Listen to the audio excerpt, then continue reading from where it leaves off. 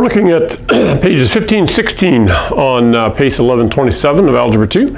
And this is about, um, what do they call it here?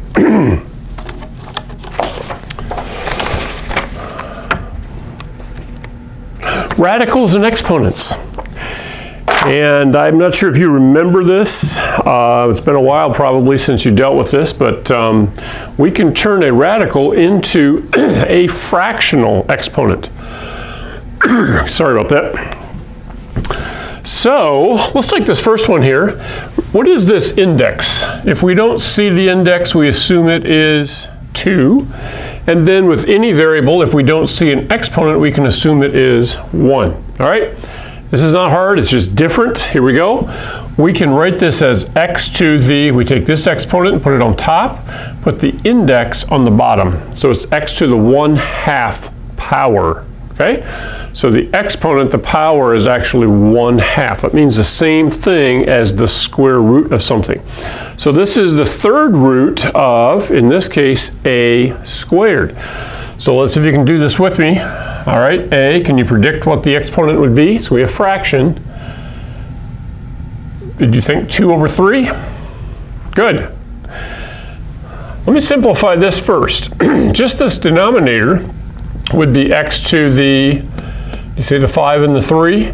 So we'll do the 5 over 3, that's the denominator, and then up here I have 5. Now I could leave it as 5 over that, or I could write it as 5 times x to the, now when I take this whole thing to the top, the exponent changes to become negative 5 thirds. It's the opposite sign. Remember when we flip from one side to the other side of this line.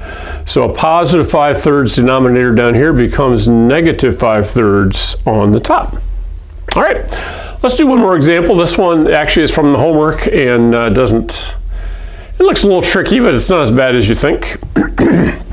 so on the top, we'll start with 2 to the, now there's no exponent, but I can assume it's 1, so 1 third, all over 2 to the, and again, there's no index here, but we know that that's going to be 3 over 2.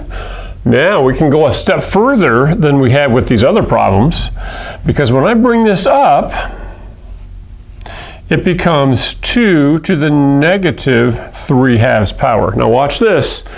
Because the base is the same, 2 and 2, now I can add these two exponents. When you multiply and the base is the same, you add the exponents.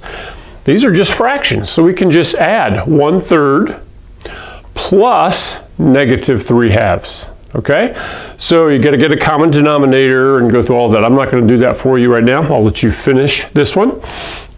But when we bring it up, you add the exponents if the base is the same. All right, there's a few others in this lesson. There, again, not a lot of problems to solve, so it shouldn't take you too long and a couple of them are a little challenging, but this is they're still following the same general principle here, and uh, hopefully it'll make sense and you'll do well.